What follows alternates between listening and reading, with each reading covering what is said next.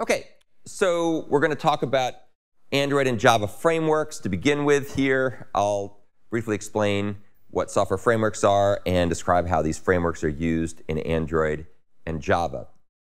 We've talked about a lot of the Java frameworks, so obviously the emphasis here is on the, the Android stuff. So what is a framework? A framework is an integrated set of components that collaborate to provide a reusable architecture for a family of related applications. And uh, you can kind of think about a framework as sort of modular housing, I suppose, or pieces where some of it comes pre-assembled and you just have to finish it off and customize it. Android and Java provide lots and lots and lots of frameworks. Android has a framework called the Activity Framework that manages all the lifecycle hook methods that are dispatched by the user interface thread when a user interacts with a given activity, which is the user-facing components in Android. And uh, we won't go through this in detail. We'll probably talk a bit more about this when we get back to the Android discussion after I cover this stuff.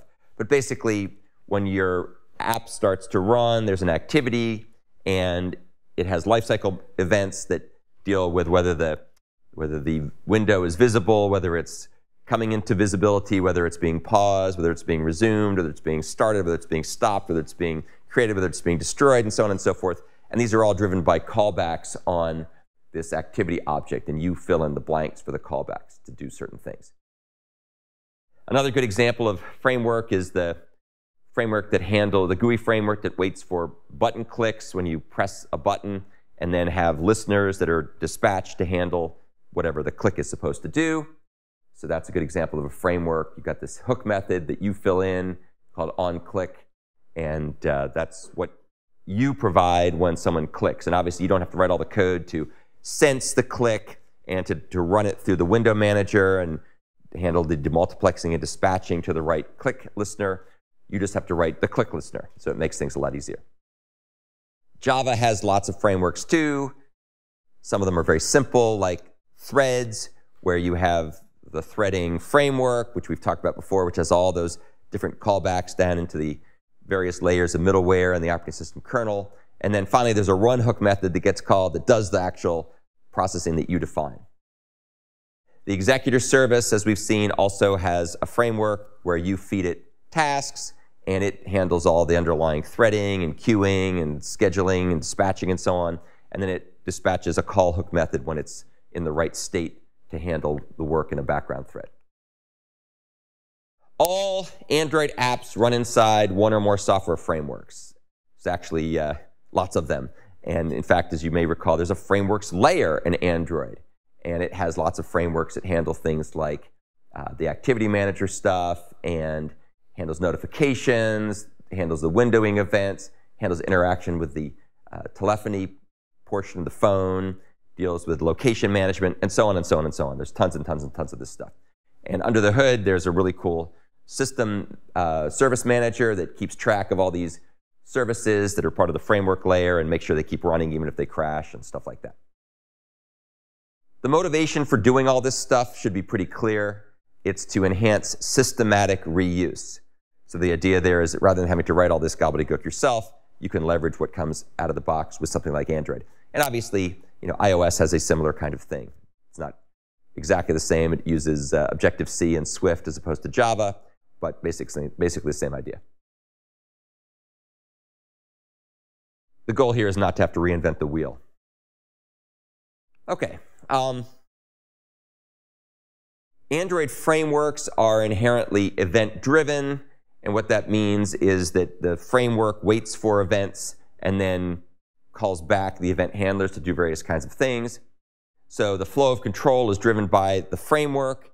It's keeping track of all the actions that are taking place, the user button click presses on the touch screen, various sensors, things like the um, you know, accelerometer or the magnometer or the transceivers, messages that come in from other threads, all that stuff is all taken into account by the Android frameworks and it dispatches the callbacks appropriately.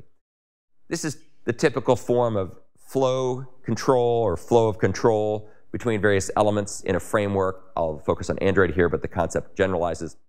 So you have framework code, which would be Android, and you have application code, which is kind of what, what you implement by extending or customizing or implementing various abstract classes or superclasses or interfaces.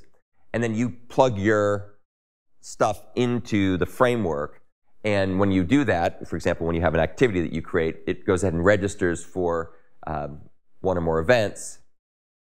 At that point, the flow of control turns over to the framework. It owns the event loop. It waits for something to happen. At that point, the application code is dormant.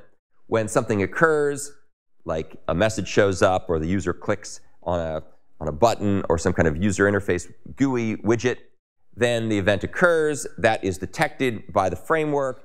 It will go ahead and call back to the app code, dispatching the appropriate hook method, such as in the case of the activity, the on create or on start or on whatever. You know, there's lots of different things that can get called back. This is the time where the application actually does its thing. This is called a hook method because it provides a hook that can be customized by whoever's writing the app. And that's, of course, where application specific or service specific or domain specific code resides. Clearly, the framework doesn't really know what you do here. It just knows that you need to do it at that point.